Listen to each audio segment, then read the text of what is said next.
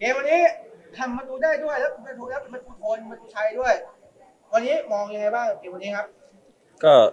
วันนี้ก็รู้สึกอึดอัดครับ แล้วก็เล่นไม่ดีด้วยครับ วันนี้ก็แล้วก็แต่ก็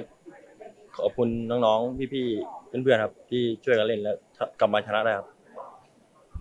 กับเกมหน้าเจอบุรีรัมย์แน่นอนว่าเราก็อาจจะเรียกว่าหายนิดนึงเนาะแต่เจอบุรีรัมย์เป็นดีไฟนอลเลยครับมองไงบ้างในเกมต่อไป ก็ ก็ต้องชนะ เพราะว่าเคยเจอมาแล้วแล้วแต่ก็ชนะมาครับ แต่ก็จะไม่ประมาทครับแล้วจะจะกลับเอาข้อผิดพลาดไปแก้ไข แล้วก็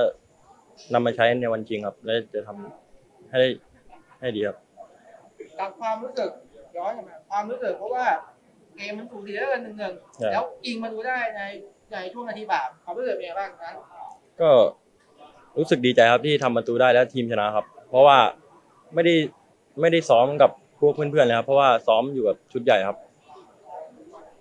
กับประสบการณ์ที่เราผ่านการไม่ว่าเล่นคือเล่นว่าอาชีพเล่นกับทีมชาติในซีเกมอะไรแบบนี้มาแล้ว แล้ววันนี้มาเล่นกับยูนิแปดมันปรับมันมันเอาเอาเอาเอาตรงนั้นเนี่ยมันปรับดูอะไรกับทีมชุดนี้บ้างมันก็ต้องเอาเอาประสบการณ์ที่เจอกับทีสองครับ แล้วก็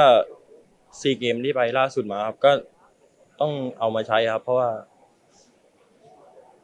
มันต้องใช้ครับ เพราะว่าเราไปออกไปหาประสบการณ์ครับ แล้วก็ต้องเอามาช่วยเพื่อนๆ พี่ๆ น้องๆ ให้ได้ครับท้ายที่สุดวันนี้แฟนบอลชลบุรีมากันเต็มเลยแล้วได้สมหวังกลับบ้านด้วย มีอะไรบอกถึงแฟนบอลชลบุรีไหมครับ ก็ฝากแฟนบอลชลบุรีเข้ามาเชียร์นัดชิงวันที่ 27 กันเยอะๆครับ แล้วพวกผมจะทำกันให้เต็มที่ครับ แล้วจะเอาแชมป์กับชลบุรีได้ครับ